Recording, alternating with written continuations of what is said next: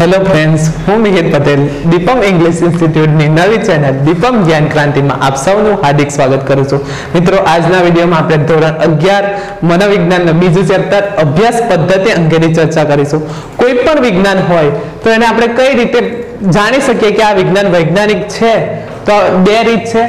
તે શાનો અભ્યાસ કરે છે, એટલે કે કયા વિષયનો અભ્યાસ કરે છે, વ્યક્તિનો અભ્યાસ કરે છે, પ્રાણીનો અભ્યાસ કરે છે, કે શાનો અભ્યાસ કરે છે? એટલે કે તે શાનો અભ્યાસ કરે છે? એનો વિષય વસ્તુ શું છે? તેનો અભ્યાસ કરવામાં આવે છે. ત્યારબાદ બીજું છે, તે કેવી રીતે અભ્યાસ કરે છે? કઈ પદ્ધતિથી અભ્યાસ કરવામાં આવે છે? જો આની માહિતી પ્રાપ્ત થાય, તો આપણે કહી શકીએ કે આ વિજ્ઞાન તરીકે તેને દરજ્જો પ્રાપ્ત થાય છે. હવે જોઈએ અભ્યાસ પદ્ધતિઓ. મુખ્યત્વે મનોવિજ્ઞાનમાં છ અભ્યાસ અભ્યાસ પદ્ધતિ રહેલી છે. તો તેની ચર્ચા કરીએ. પ્રથમ છે નિરીક્ષણ પદ્ધતિ. કઈ નિરીક્ષણ પદ્ધતિ? બીજું છે દીર્ઘકાલીન અને સમકાલીન અને વ્યક્તિગત પદ્ધતિ. દીર્ઘકાલીન, સમકાલીન અને વ્યક્તિ ઇતિહાસ પદ્ધતિ. બીજું ત્રીજું છે પ્રયોગ પદ્ધતિ. ચોથું પ્રશ્નાવલી પદ્ધતિ. પાંચમું છે મુલાકાત પદ્ધતિ. અને છઠ્ઠું મનોવૈજ્ઞાનિક કસોટી. તો આપણે તેની ચર્ચા કરીએ. ઉપર ઉપર ચર્ચા કરી લઈએ તો પ્રથમ છે નિરીક્ષણ. નિરીક્ષણ એટલે અવલોકન કરવું કે જોવું. ત્યારબાદ દીર્ઘકાલીન કે સમકાલીન? કોઈક વસ્તુ કે વ્યક્તિનો સાથે સમાવેશ કરવામાં આવે તો દીર્ઘકાલીન અને સમકાલીનમાં આવે છે અને વ્યક્તિ ઇતિહાસ પદ્ધતિ. વ્યક્તિને કંઈક અનુભવ થાય છે, તો એના અનુભવ કે કંઈક બનાવ થાય છે, તો તેને વ્યક્તિ દ્વારા જે જવાબ આપવામાં આવે છે, તો તેને વ્યક્તિ ઇતિહાસ પદ્ધતિમાં તેનો સમાવેશ થાય છે. પ્રયોગ પદ્ધતિ.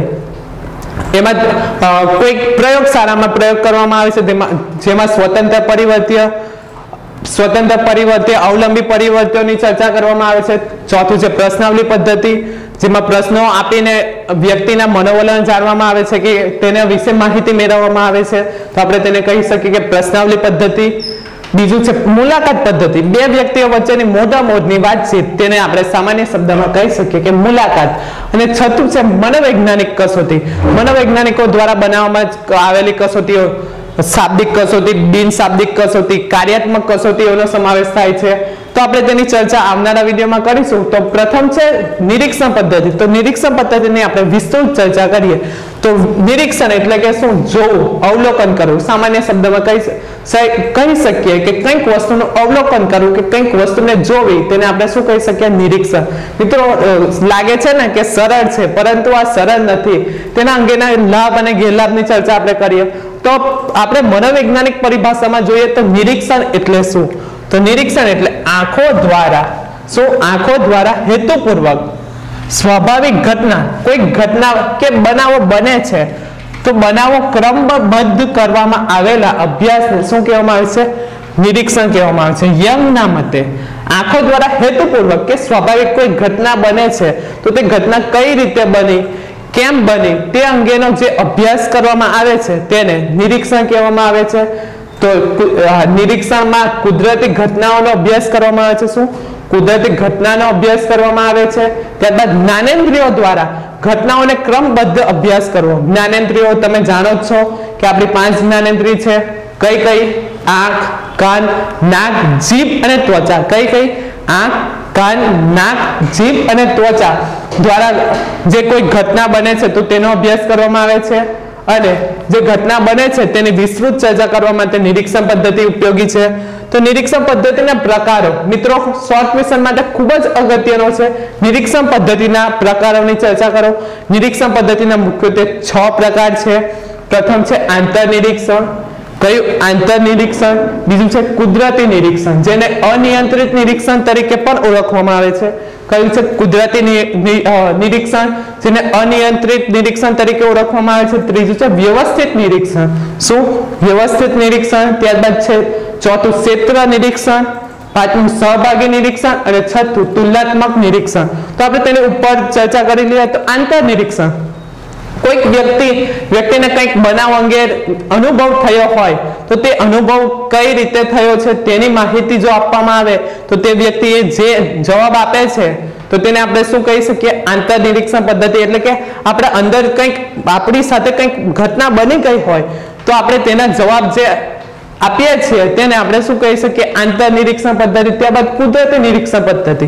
કોઈ પણ ઘટના બને છે, તો તે પરિસ્થિતિ પરિસ્થિતિમાં કઈ રીતે ઘટના બની છે તો તેની ચર્ચા કરવા માટે કુદરતી નિરીક્ષણનો ઉપયોગ કરવામાં આવે છે, જેને અનિયંત્રિત નિરીક્ષણ તરીકે પણ ઓળખવામાં આવે છે. ત્રીજું છે વ્ય- વ્યવસ્થિત લક્ષી નિરીક્ષણ. વ્યવ- વ્યવસ્થિત લક્ષી નિરીક્ષણ જે કુદરતી નિરીક્ષણ છે, તેની મર્યાદા છે, તો તેને દૂર કરવા માટેનો ઉપયોગ કરવામાં આવે છે. વ્યવસ્થિત નિરીક્ષણમાં કેમેરા, વીડિયો કે એક બારી, એટલે કે એક બાજુથી જોઈ શકાય તેવી બારીનો ઉપયોગ કરવામાં આવે છે, જેના દ્વારા સાચી અને ચોકસાઈપૂર્ણ માહિતી મળે. ચોથું છે ક્ષેત્ર નિરીક્ષણ. કોઈ ઘટના, બનાવ બને છે, તો તે ક્ષેત્ર પર, એટલે કે તે ઘટના સ્થળે જઈને જે નિરીક્ષણ કરવામાં આવે છે, તેને શું કહેવામાં આવે છે? ક્ષેત્રલક્ષી નિરીક્ષણ. પાંચમું છે સહભાગી નિરીક્ષણ. કોઈ વ્યક્તિ, જૂથ કે સમૂહમાં આપણે, સમૂહનું આપણે અવલોકન કરવું હોય, તો સાચી માહિતી ક્યારે મળે? કે એ જૂથમાં આપણે જોડાઈ જઈએ, એટલે કે સહભાગી થઈ શકીએ. તો તેમાં જે નિરીક્ષણ કરવામાં આવે છે, તો એને આપણે કહી શકીએ કે સહભાગી નિરીક્ષણ. ને છઠ્ઠું છે તુલનાત્મક નિરીક્ષણ. તુલનાત્મક નિરીક્ષણ એટલે બે જૂથ, સમૂહ કે બે વ્યક્તિઓ વચ્ચે કંઈક તુલના કરવા માટેનું જે નિરીક્ષણ કરવામાં આવે છે. કઈ વ્યક્તિ ચઢિયાતી છે કે કઈ નિમ્ન કક્ષાની છે? કોઈ ઘટના બની છે? કેટલી તીવ્ર છે? કે ગમે તે હોય, તેની માહિતી મેળવવા માટે તુલનાત્મક નિરીક્ષણ પદ્ધતિનો ઉપયોગ કરવામાં આવે છે. હવે આપણે તેની વિસ્તૃત ચર્ચા કરીએ. તો નિરીક્ષણના પ્રકારો કેટલા છે? છ. આંતર નિરીક્ષણ, બીજું છે કુદરતી નિરીક્ષણ, જેને અનિયંત્રિત નિરીક્ષણ કહેવામાં આવે છે. ત્રીજું છે વ્યવસ્થિત નિરીક્ષણ, ચોથું ક્ષેત્ર નિરીક્ષણ, પાંચમું સહભાગી નિરીક્ષણ અને છઠ્ઠું તુલનાત્મક નિરીક્ષણ. તો પ્રથમ છે આંતર નિરીક્ષણ. આંતર નિરીક્ષણમાં વિલ્હેમ બુન અને એડવર્ડ ટિન્સનર દ્વારા રચનાવાદની સ્થાપના કરવામાં આવી હતી. તો ક્વેશ્ચન પૂછાઈ શકે કે વિલ્હેમ બુન દ્વારા કઈ કઈ વાદની રચના કરવામાં આવી તો રચનાવાદ જો તમે સ્પર્ધાત્મક પરીક્ષાની તૈયારી તૈયારી કરી રહ્યા હોય, તેમાં પણ પીઆઈ પીએસઆઈ કે કોન્સ્ટેબલ? ટેટ ટાટ એટાટમાં ક્વેશ્ચન પૂછાય છે કે વિલ્હેમ બુથ દ્વારા કયા વાદની રચના કરવામાં આવી હતી? તો રચનાવાદની રચના કરવામાં આવી હતી. તો વિલ્હેમ બુથ અને ટિન્સનર જે વૈજ્ઞાનિકો છે, તેઓ રચનાવાદમાં માનતા હતા. તો રચનાવાદી લોકોનો અભિપ્રાય કે મંતવ્ય છે, તો તેઓના મતે આંતર નિરીક્ષણ કરવામાં આવે છે. તો જે વિલિયમ વૂન હતા, તેઓ આંતર નિરીક્ષણ પદ્ધતિને મહત્વ આપતા હતા. તો આંતર નિરીક્ષણ પદ્ધતિ એટલે શું? મનોવૈજ્ઞાનિક પરિભાષામાં જોઈએ તો આંતર નિરીક્ષણ એટલે પોતાની અંદર શું? પોતાની અંદર અંતર્મુખ થઈને પોતાનામાં ચાલતા મનોવ્યાપારોનું નિરીક્ષણ કરવું શું? પોતાની અંદર અંતર્મુખ થઈને પોતાના મનમાં ચાલતા મનોવ્યાપારનું નિરીક્ષણ કરવું તેને શું કહેવામાં આવે છે? આંતર નિરીક્ષણ. શું? છે ને સરળ? ખૂબ જ સરળ છે. થોડું ધ્યાન આપશો તો તમને આવડી જશે. આંતર નિરીક્ષણ એટલે પોતાની અંદર, એટલે કે આપણને કંઈક, આપણી સાથે કોઈ ઘટના બની ગઈ હોય તો આપણે અંતર્મુખ થઈને, પોતે વિચાર, અંદર અંતર્મુખ થઈને, એટલે કે પોતાનામાં જે લાગણી, સંવેદન છે તેને ચાલતા મનોવ્યાપારોનું નિરીક્ષણ જો કરવામાં આવે, તો એને આપણે શું કહી શકીએ? આંતર નિરીક્ષણ પદ્ધતિ. તો આંતર નિરીક્ષણ પદ્ધતિમાં શું થઈ શકે? સંવેદન. વ્યક્તિને કંઈક સંવેદન થાય. આગળ જ આપણે જોયું, આપણી સંવેદન જ્ઞાનેન્દ્રિયો પાંચ છે, તેના દ્વારા જે સંવેદન થાય છે, તેનો સમાવેશ થાય છે. લાગણી, માનસિક પ્રક્રિયાનું અંતર્મુખ થઈને કરેલું નિરીક્ષણ એટલે આંતર નિરીક્ષણ સંવેદન, લાગણી કે માનસિક પ્રક્રિયાનું જે અંતર્મુખ થઈને નિરીક્ષણ કરવામાં આવે છે, તો તેને આપણે કહી શકીએ કે આંતર નિરીક્ષણ કરેલું કહેવાય. તો આંતર નિરીક્ષણ પદ્ધતિના લાભ પણ છે અને ગેરલાભ પણ છે. કોઈ પણ પદ્ધતિ હોય તો તેના સિક્કાની બે બાજુ હોય છે. તેવી જ રીતે કોઈ પણ પદ્ધતિ હોય તો તેના લાભ પણ રહેલા હોય છે અને ગેરલાભ પણ રહેલા હોય છે. તો લાભ આંતર નિરીક્ષણ પદ્ધતિથી જો નિરીક્ષણ કરવામાં આવે, તો વ્યક્તિ કે વૈજ્ઞાનિકોને કયા લાભ થાય તો તે જોઈએ. પ્રથમ છે, સાધનોનો ઉપયોગ થતો નથી.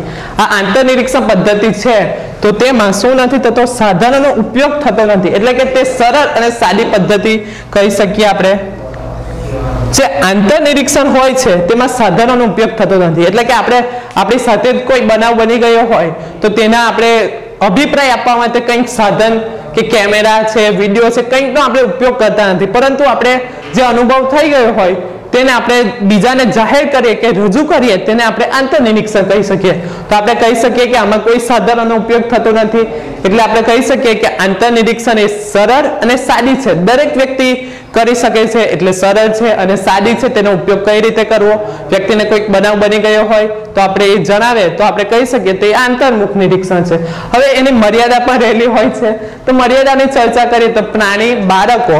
શું? પ્રાણી બાળકો કે અશિક્ષિકો અને મનોરોગી વ્યક્તિ હોય છે, તો તે આંતર નિરીક્ષણ કરી શકતી નથી. શું નાના બાળકો હોય, તો તે તો પોતાની રીતે આંતરમુખ કે કંઈક બનાવ બની ગયો હોય, તો તેના અભિપ્રાય આપી શકતા નથી. કોઈ પ્રાણી પણ અભિપ્રાય આપી શકતો નથી, એટલે તેના પર પણ આંતર નિરીક્ષણ ન કરી શકાય. તેવી જ રીતે અશિક્ષિત વ્યક્તિ હોય. અશિક્ષિત વ્યક્તિ સાથે પણ કંઈક બનાવ બની ગયો હોય તો તે પણ કંઈક અભિપ્રાય ન આપી શકે. તેના માટે પણ આંતર નિરીક્ષણ પદ્ધતિની મર્યાદા રહેલી છે. તેમજ મનોરોગી. કોઈક મનોરોગથી એટલે કે મનોવિકૃતિથી પીડાતી વ્યક્તિ હોય તો તે પણ આમ આંતર નિરીક્ષણ કરી શકતી નથી. તો એક મર્યાદા રહેલી છે કે પ્રાણી, બાળકો, અશિક્ષિત કે મનોરોગીઓ આંતરનિરીક્ષણ આંતર નિરીક્ષણ પદ્ધતિનો ઉપયોગ કરી શકતા નથી. તેમજ કોઈક વ્યક્તિ હોય તો સાચાને બદલે સારી માહિતી આપે છે. શું? કંઈક સાચી, કોઈક વ્યક્તિને કંઈક બનાવ કે ઘટના અંગે કંઈક માહિતી પૂછવામાં આવે છે, તો વ્યક્તિ સાચી માહિતી આપવાના બદલે સારી માહિતી આપે છે. તો આ એક મર્યાદા રહેલી હોય છે કે આંતરનિરીક્ષણ પદ્ધતિ દ્વારા કંઈક અવલોકન કરવામાં આવે તો વ્યક્તિ સાચી માહિતી આપવાના બદલે કેવી આપે છે? ખોટી, એટલે કે સારી માહિતી આપે છે. સાચી માહિતી હોય તે નથી આપતી, પરંતુ જે આંતરનિરીક્ષણ કરતી વ્યક્તિ સામે બેઠેલી વ્યક્તિ હોય છે તેને સારી માહિતી આપવા માટેનો પ્રયાસ કરવામાં આવે છે. અને જે આંતરનિરીક્ષણ દ્વારા જે સામાન્યકરણ એટલે કે કંઈક પરિણામ આવે છે તો સામાન્યકરણ થઈ શકતું નથી. કોઈક એક જ બનાવ હોય બે વ્યક્તિને એક જ બનાવ બની ગયા હોય તો દરેક વ્યક્તિ અલગ અલગ સામાન્યકરણ એટલે કે અલગ અલગ અભિપ્રાય આપે છે એટલે કે સામાન્યકરણ થઈ શકતું નથી. તો આપણી એક મર્યાદા બીજી છે કે આંતર નિરીક્ષણનું અ, સામાન્યકરણ થઈ શકતું નથી અને આંતરનિરીક્ષણનું પુનરાવર્તન પણ ન થઈ, નથી થતું. તો આપણે કહી શકીએ કે આંતરનિરીક્ષણની મર્યાદાઓ છે. કઈ કઈ મર્યાદા છે? પ્રથમ જો પ્રાણી, બાળક, અશિક્ષિત કે મનોરોગી ધરાવતી વ્યક્તિઓ આંતરનિરીક્ષણ કરી શકતી નથી. ત્યારબાદ સાચાને બદલે સાચ, સાચાને બદલે સારું લાગે એવી માહિતી આપે છે. ત્રીજું છે સામાન્યકરણ ન થાય અને પુનરાવર્તન થતું નથી. આ તેની મર્યાદા છે. કઈ કઈ મર્યાદા? પ્રાણી કે બાળક અશિક્ષિત કે મનોરોગીઓ ધરાવતી વ્યક્તિનું આંતર નિરીક્ષણ થઈ શકતું નથી. સાચાને બદલે સારી માહિતી આપે છે. સામાન્યકરણ થતું નથી અને પુનરાવર્તન થતું નથી. આ આંતરનિરીક્ષણની મર્યાદા છે. હવે જોઈએ. કુદરતી નિરીક્ષણ. કુદરતી નિરીક્ષણ અનિયંત્રિત નિરીક્ષણ તરીકે પણ ઓળખવામાં આવે છે. કોઈક વ્યક્તિ જૂથ પરિસ્થિતિ અંગેની માહિતી, એટલે કે કંઈક પરિસ્થિતિ બને છે, તો તેને કુદરતી રીતે નિરીક્ષણ કરવામાં આવે, તો આપણે કહી શકીએ કે તે કુદરતી નિરીક્ષણ છે. કોઈ વ્યક્તિ જૂથ પરિસ્થિતિ અંગે નિરીક્ષણ કરવામાં આવે, તો તેને કુદરતી નિરીક્ષણ કહેવામાં આવે છે. કુદરતી નિરીક્ષણનું બીજું નામ કયું છે? અનિયંત્રિત નિરીક્ષણ. ઉદાહરણ જોઈએ તો આતંકવાદી હુમલો થાય, તો તે અંગેનું આપણે કુદરતી રીતે જ નિરીક્ષણ કરવું પડે છે કે આતંકવાદી હુમલો થયો તો કઈ રીતે થયો? તો તેને આપણે કુદરતી એટલે કે પર્યાવરણમાં જ એનો અભ્યાસ કરી શકીએ તો આપણે કહી શકીએ કુદરતી નિરીક્ષણ છે. તો તેના લાભ છે. તો લાભ છે ઘટનાનો પ્રત્યક્ષ અનુભવ. કોઈક ઘટના બને છે, પૂર બને છે, આતંકવાદી હુમલો થાય છે, તો એ ઘટના સ્થળે આપણે જઈએ છીએ.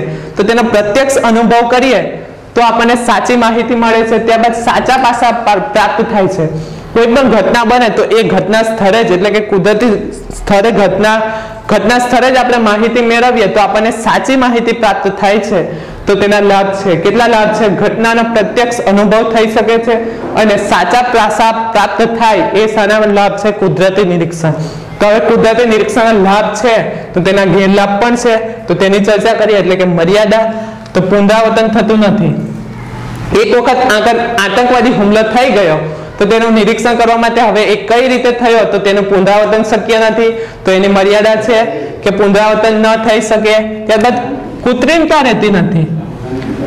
જે માહિતી પ્રાપ્ત થાય છે તો પુનરાવર્તન ન કરવામાં આવે તો એટલે કે કોઈ સમૂહ કે વ્યક્તિનું આપણે કુદરતી રીતે નિરીક્ષણ કરવું હોય તો જો એ વ્યક્તિને ખબર પડી જાય કે મારું નિરીક્ષણ થઈ રહ્યું છે, તો વ્યક્તિ એ જે વર્તન કરતી હોય તો ન કરે. તેના કારણે તેના વર્તનમાં કૃત્રિમતા આવી જાય છે. તો આ એની મર્યાદા રહેલી છે અને બીજી મર્યાદા છે નિરીક્ષક દ્વારા વ્યક્તિલક્ષિતા જ્યારે થઈ જાય ત્યારે સાચી માહિતી પ્રાપ્ત થતી નથી. એટલે કે બે ત્રણ બનાવ એક સાથે બને ત્યારે નિરીક્ષક દ્વારા કઈ વસ્તુ કે બનાવ પર ભાર આપવો કે કઈ વસ્તુનું નિરીક્ષણ કરવું તો તે નથી તેને કૃત્રિમતા કહેવામાં આવે છે. એટલે કે બે કે વધુ બનાવો પર એક જ નિરીક્ષક સાથે ધ્યાન આપી શકતો નથી. એક જ સમયે જો ઘટના બને, તો નિરીક્ષક દ્વારા ગમે તે એક જ ઘટના પર ધ્યાન આપી શકે. તેના કારણે પણ મર્યાદા રહેલી છે. તો તેની મર્યાદા છે. તો કુદરતી લક્ષી નિરીક્ષણની મર્યાદા ફરી જોઈ લઈએ. પુનરાવર્તન ન થઈ શકે. કૃત્રિમતા રહેતી નથી. નિરીક્ષક દ્વારા વ્યક્તિલક્ષીતા આવી જાય છે. એટલે કે એક જ નિરીક્ષક હોય, તો બેથી વધારે ઘટના બને, તો કઈ ઘટના પર વધારે ધ્યાન આપવું? તો તેના કારણે પણ સાચી માહિતી પ્રાપ્ત થતી નથી. આ કુદરતી નિરીક્ષણની મર્યાદા છે. તો ત્રીજું જોઈએ વ્યવસ્થિત નિરીક્ષણ. જે કુદરતી લક્ષી નિરીક્ષણ છે, તો એની મર્યાદા દૂર કરવા માટે વ્યવસ્થિત નિરીક્ષણ કરવામાં આવે છે. તો વ્યવસ્થિત નિરીક્ષણ કઈ રીતે થઈ શકે?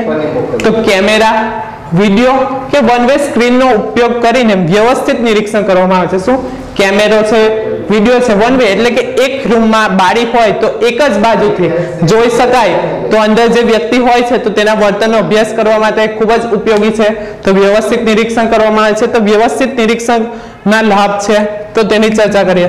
કે નાનામાં નાની માહિતી ચોકસાઈથી મળે છે. કોઈક બનાવ હોય તો તેનું નિરીક્ષણ જો કેમેરા કે વિડીયોથી કરવામાં આવે, વારંવાર એને જોવામાં આવે, તો નાનામાં નાની જે ઘટના હોય છે, તો તેની માહિતી મળે છે, એ પણ કેવી ચોકસાઈ મળે છે અને પુનરાવર્તન શક્ય બને છે. વીડિયો હોય તો આપણે વારંવાર તેને જોઈએ છીએ. વારંવાર જોઈએ છીએ એટલે કે પુનરાવર્તન શક્ય બને છે, તે સામે વ્યવસ્થિત નિરીક્ષણમાં પુનરાવર્તન શક્ય બને છે. આ વ્યવસ્થિત નિરીક્ષણનો એક લાભ છે. જ્યાં પુનરાવર્તન હોય છે, તે કુદરતી નિરીક્ષણની મર્યાદા છે. એટલે કે કંઈક બનાવ બની ગયા હોય તો તે કુદરતી નિરીક્ષણમાં એનું પુનરાવર્તન થઈ શકતું નથી. તો તેનો, તેની મર્યાદા દૂર કરવા માટે વ્યવસ્થિત નિરીક્ષણ કરવામાં આવે છે. ત્યારબાદ વિશ્વસનીય માહિતી મળે છે. કેમેરા, વીડિયો દ્વારા જે માહિતી મળે છે તો એ વિશ્વસનીય હોય છે. તો આ એનો લાભ છે. નાનામાં નાની માહિતી મળે છે. તે પણ કેવી ચોકસાઈપૂર્વક મળે છે. પુનરાવર્તન શક્ય છે અને વિશ્વસનીય માહિતી મળે છે. તો વ્યવસ્થિત નિરીક્ષણ છે. આગળ જ જોયું કે સિક્કાની બે બાજુ હોય છે, તો જે નિરીક્ષણ હોય છે તેના પણ લાભ હોય છે, તો બીજી બાજુ એના ગેરલાભ પણ હોય છે. તો ગેરલાભ છે, અચાનક બનતી ઘટનાઓનો જે અભ્યાસ કરવામાં આવે, તો વ્યવસ્થિત નિરીક્ષણમાં અભ્યાસ થતો નથી. ઉદાહરણ જોઈએ તો આતંકવાદી હુમલો થાય, તો હવે જો કેમેરો હોય, કેમેરા ન હોય, તો આપણે તેનું નિરીક્ષણ કરી શકતા નથી. એટલે કે અચાનક કોઈ પણ બનાવ બને, તો કેમેરા દ્વારા કે વીડિયો દ્વારા આપણે તેનો નિરીક્ષણ ન કરી શકીએ, તો તે આની મર્યાદા રહેતી હોય છે કે અચાનક બનતી ઘટનાઓનો જ્યારે ઉપયોગ કરવાનો હોય એટલે કે માહિતી મેળવવાની હોય ત્યારે વ્યવસ્થિત નિરીક્ષણ ન થઈ શકે. હવે જોઈએ ક્ષેત્ર નિરીક્ષણ. ક્ષેત્ર નિરીક્ષણની વ્યાખ્યા મનોવૈજ્ઞાનિક પરિભાષામાં જોઈએ તો ઘટના બનાવના સ્થળે જઈને કરવામાં આવતું નિરીક્ષણ એટલે ક્ષેત્ર નિરીક્ષણ. શું કોઈ ઘટના, કોઈક બનાવ બને તો તે જે ઘટના કે બનાવ બને તે સ્થળે જઈને જે નિરીક્ષણ કરવામાં આવે છે, તેને આપણે શું કહીએ છીએ? ક્ષેત્ર નિરીક્ષણ. શું? કોઈ ઘટના, બનાવ જે સ્થળે બને છે, તે સ્થળે જઈને નિરીક્ષણ કરવામાં આવે. તો તેને ક્ષેત્ર નિરીક્ષણ કહેવામાં આવે છે. ઉદાહરણ ઉદાહરણ જોઈએ તો પૂર. પૂર વખતે આપણે તેનું નિરીક્ષણ કરીએ તો એને કહેવામાં આવે છે ક્ષેત્ર નિરીક્ષણ. ત્યારબાદ ધરતીકંપ. ધરતીકંપ ધરતીકંપ વખતે આપણે તેનું નિરીક્ષણ કરીએ તો ક્ષેત્ર નિરીક્ષણમાં આવે છે. તો જે ક્ષેત્ર નિરીક્ષણ છે, એટલે કે કોઈ ઘટના બનાવ બને છે, તો આપણે તે ક્ષેત્ર એટલે કે તે ઘટના સ્થળે જઈને જે માહિતી મેળવીએ, તો તેને આપણે કહી શકીએ કે ક્ષેત્ર નિરીક્ષણ. તો ક્ષેત્ર નિરીક્ષણના પણ ફાયદા અને ગેરફાયદા રહેલા છે. ફાયદા કયા છે? જે ક્ષેત્રમાં આપણે કંઈક જે ઘટના બને છે, તો તે ઘટના સ્થળે જોઈએ, જઈને જોઈએ, તો ચોકસાઈથી આપણને એ માહિતી મળે છે, કોઈ બનાવ બની ગયો હોય, તો એ બનાવને આપણે જોઈએ, તો ચોકસાઈપૂર્વક આપણે તેની માહિતી પ્રાપ્ત થાય છે. તેમ ત્યારબાદ ઝીણવટપૂર્વક માહિતી મળે છે. ઝીણવટપૂર્વક અભ્યાસ કરી શકીએ છીએ. નિરીક્ષક દ્વારા કોઈ ઘટના બને છે તો એ ઘટના સ્થળે જાય છે. તો ઝીણવટપૂર્વક કઈ ઘટના બની, તો કયા કારણો રહેલા છે, કયા કારણના લીધે આ ઘટના બની, તો જાણવા માટે ઝીણવટપૂર્વક અભ્યાસ કરવામાં આવે છે અને નિરીક્ષક ત્યાં પોતે જ હાજર હોય. તેના કારણે વિશ્વસનીય માહિતી પ્રાપ્ત થાય છે. શું? નિરીક્ષક જે હોય છે તે ઘટના સ્થળે જ હોય છે. તો તે માહિતી મેળવે છે તો કેવી હોવાની છે? વિશ્વસનીય જ હોવાની છે. આ તેના લાભ છે. હવે એના ગેરલાભ પણ રહેલા છે કે તાત્કાલિક કોઈ ઘટના બને તો તેનો અભ્યાસ થતો નથી. આગળ જે આપણે જોયું, વ્યવસ્થિત નિરીક્ષણમાં તે જ આની મર્યાદા છે કે તાત્કાલિક કોઈ ઘટના બની જાય. ઉદાહરણ જોઈએ તો ધરતીકંપ તરત આવી જાય તો નિરીક્ષક તે ઘટના સ્થળે તો તરત જઈ શકતો નથી. તો આ એની મર્યાદા છે. કોની? ક્ષેત્ર નિરીક્ષણની. હવે જોઈએ સહભાગી નિરીક્ષણ. તો સહભાગી નિરીક્ષણ સામાન્ય અર્થમાં જોઈએ તો કોઈક સમૂહ જૂથમાં આપણે સાથે સાથે જોડાઈ જઈએ અને કંઈક નિરીક્ષણ કરવામાં આવે તો તેને શું કહેવામાં આવે છે? સહભાગી નિરીક્ષણ. તો મનોવૈજ્ઞાનિક પરિભાષામાં જોઈએ તો જે તે જૂથ, શું? જે તે જૂથ કે સમૂહનો સદસ્ય બનીને કરવામાં આવતું નિરીક્ષણ, એટલે સહભાગી નિરીક્ષણ શું? જે તે જૂથ કે સમૂહનો સદસ્ય બનીને કરવામાં આવતું નિરીક્ષણ, તેને શું કહેવામાં આવે છે? સહભાગી નિરીક્ષણ. તો ઉદાહરણ જોઈએ તો આદિવાસીઓ કે ગમે તે જાતિની માહિતી મેળવવી હોય, તો તે જૂથમાં આપણે જોડાઈ જઈએ, તો તેની સાચી માહિતી પ્રાપ્ત થાય, તો તેને શું કહેવામાં આવે છે? સહભાગી નિરીક્ષણ. તો સહભાગી નિરીક્ષણના પણ લાભ અને ગેરલાભ છે. તો લાભ કયા છે? તો અપર્યાપ્ત માહિતી હોય છે, તો તે અપર્યાપ્ત માહિતી આપણને પ્રાપ્ત થાય. ઉદાહરણ જોઈએ તો, આદિવાસીઓના જે પ્રસંગો હોય, તો આપણે એના વિશે જાણતા નથી. પરંતુ એ આદિવાસી જે પ્રજાતિ હોય, તેની સાથે આપણે જો જોડાઈ ગયે તે પ્રસંગમાં, તો આપણને જે માહિતી ન હોય, તો તે પ્રાપ્ત થાય. તો એનો લાભ છે કે અપ્રાપ્ત માહિતી હોય, તો તે આપણને મળે છે. તો આ સહભાગી નિરીક્ષણ છે, તો તેની પણ કેટલીક મર્યાદાઓ રહેલી હોય છે. તો શું છે? જૂથના લોકોને ખ્યાલ આવી જતા કાર્ય અશક્ય બને છે. કે આપણે આગળ જે ઉદાહરણ જોયું કે આદિવાસી પ્રજાનું આપણે નિરીક્ષણ કરવું હોય, તો આપણે તે જૂથ સાથે જોડાઈ જઈએ. પરંતુ જો એ જાતિને ખબર પડી જાય કે એ વ્યક્તિને ખબર પડી જાય કે અમારા જૂથનું કે સમૂહનું નિરીક્ષણ કરે છે. તો વ્યક્તિ દ્વારા યોગ્ય વર્તન કરવામાં આવતું નથી. તેના કારણે આપણને સાચી માહિતી મળતી નથી. તો આપણે કહી શકીએ કે જૂથના લોકોનો ખ્યાલ આવી જતા જે કાર્ય નિરીક્ષક દ્વારા કરવામાં આવે છે, તો તે અશક્ય બની જાય છે. એટલે કે સાચી માહિતી પ્રાપ્ત થતી નથી. જે સાચી માહિતી પ્રાપ્ત થવી જોઈએ, તો તે થતી નથી. તો આ એની મર્યાદા છે. તો એના લાભ છે કે જે અપર્યાપ્ત માહિતી હોય છે, તો તેની માહિતી મળે છે. મર્યાદામાં જૂથના લોકોને જો સમજ ખબર પડી જાય કે અમારા જૂથનું કે વ્યક્તિનું વર્તનનું નિરીક્ષણ કરવામાં આવે છે, તો તે અશક્ય બની જાય છે, એટલે કે સાચી, સાચું વર્તન કરવામાં આવતું નથી, કે સાચી માહિતી મળતી નથી. તો એક મર્યાદા છે અને છેલ્લું છે તુલનાત્મક નિરીક્ષણ. બે જૂથ, વ્યક્તિ કે સમૂહ વચ્ચે કંઈક સામ્યતા કે તફાવત રહેલા હોય છે, તો તેનું જે તુલના કરવામાં આવે છે કે કયા ભેદ રહેલા છે, કઈ સમાનતા રહેલી છે. તો તેને કહી શકાય કે બે જૂથ કે બે વ્યક્તિ વચ્ચેની તુલના કરવા માટે જે નિરીક્ષણ કરવામાં આવે છે, તેને શું કહેવામાં આવે છે? તુલનાત્મક નિરીક્ષણ. ઉદાહરણ જોઈએ તો ગામડું અને શહેરમાં કંઈક વિકાસ થાય છે, તો ગામડામાં વિકાસ થયો છે, કેટલા પ્રમાણમાં વિકાસ થયો છે, તેવી રીતે શહેરમાં વિકાસ થયો છે, તો એ બે વચ્ચે, એટલે કે ગામડા વચ્ચે અને શહેરમાં જે વિકાસ થયો હોય, બે વ્યક્તિ, ગામડાની વ્યક્તિ અને શહેરી વ્યક્તિમાં કયા કયા તફાવત રહેલા છે, તો તે અંગેનું નિરીક્ષણ કરવામાં આવે, તો તેને આપણે કહી શકીએ કે તુલનાત્મક નિરીક્ષણ છે. તો તેના પણ લાભ છે અને તેના પણ કેટલાક ગેરલાભ રહેલા છે, તો તેની ચર્ચા કરીએ. લાભ છે અન્ય પદ્ધતિ કરતા વિશ્વસનીય છે. કોઈ બે વ્યક્તિ જૂથ કે સમૂહની તુલના કરવી હોય, તો તુલનાત્મક નિરીક્ષણ જ સૌથી સરળ છે અને સૌથી શ્રેષ્ઠ નિરીક્ષણ છે. કે અન્ય પદ્ધતિ કરતા વિશ્વસનીય માહિતી મળે છે, તુલના એટલે કે બે વ્યક્તિ, જૂથ કે સમૂહ વચ્ચે સામ્યતા કે તફાવત રહે- રહેલો છે કે નહીં તે જાણવા માટે ની પદ્ધતિ સર્વશ્રેષ્ઠ હોય તો તે તુલનાત્મક નિરીક્ષણ છે, જે તેનો લાભ છે. તો તેને ગેરલાભ પણ છે કે અન્ય માહિતી પ્રાપ્ત થતી નથી. કોઈક આપણો ટાર્ગેટ જ હોય છે કે અમુક જ માહિતી મેળવવી છે.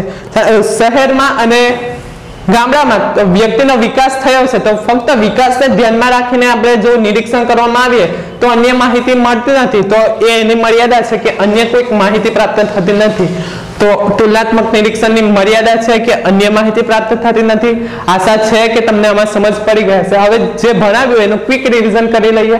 શોર્ટ ક્વેશ્ચનમાં પૂછાય એવો પ્રશ્ન છે, અભ્યાસ પદ્ધતિ ના, પ્રકારો કે અભ્યાસ પદ્ધતિઓ કેટલી છે તો કઈ કઈ છે? છ પદ્ધતિ છે. પ્રથમ છે નિરીક્ષણ પદ્ધતિ, દીર્ઘકાલીન અને સમકાલીન અને વ્યક્તિ ઇતિહાસ પદ્ધતિ, ત્રીજું છે પ્રયોગ પદ્ધતિ, ચોથું પ્રશ્નાવલી પદ્ધતિ, પાંચમું મુલાકાત અને છઠ્ઠું મનોવૈજ્ઞાનિક પદ્ધતિ. હવે આપણે જોયું નિરીક્ષણ પદ્ધતિ, તો નિરીક્ષણ પદ્ધતિ શોર્ટ ક્વેશ્ચનમાં કે વ્યાખ્યા તરીકે પૂછાઈ શકે. આંખ દ્વારા હેતુપૂર્વક સ્વાભાવિક ઘટનાઓ કે બનાવો? ક્રમબદ્ધ કરવામાં આવેલો અભ્યાસ તેને શું કહેવામાં આવે છે? નિરીક્ષણ પદ્ધતિ યુંગના મતે. મિત્રો, તમે જ્યારે પણ વ્યાખ્યા લખો તો ડબલ ઇન્વાઇટેડ કોમામાં જ વ્યાખ્યા વ્યાખ્યા લખવી જેથી નિરીક્ષક કે તપાસના ઉપર તમારી સારી છાપ પડે છે. અને શોર્ટમાં શોર્ટ ક્વેશ્ચનમાં પૂછાઈ શકે છે કે નિરીક્ષણ પદ્ધતિના પ્રકારો જણાવો તો આપણે જોયા કેટલા, છ પ્રકાર છે. પ્રથમ છે આંતર નિરીક્ષણ, બીજું છે કુદરતી નિરીક્ષણ, જેને અનિયંત્રિત નિરીક્ષણ તરીકે પણ ઓળખવામાં આવે છે. ત્રીજું વ્યવસ્થિત નિરીક્ષણ, ચોથું ક્ષેત્ર નિરીક્ષણ, પાંચમું સહભાગી નિરીક્ષણ અને છઠ્ઠું તુલનાત્મક નિરીક્ષણ. આશા છે કે તમને આમાં સમજ પડી ગઈ હશે. જો કંઈક નહીં સમજ પડી હોય, તો તમે કમેન્ટ કરો, જેથી હું તમારી સમસ્યા દૂર કરી શકું. મિત્રો, જો તમને આ મારો વીડિયો પસંદ પડ્યો હોય, તો લાઈક કરો, શેર કરો અને અમારી ચેનલને સબસ્ક્રાઇબ કરો. Thank you. thank you.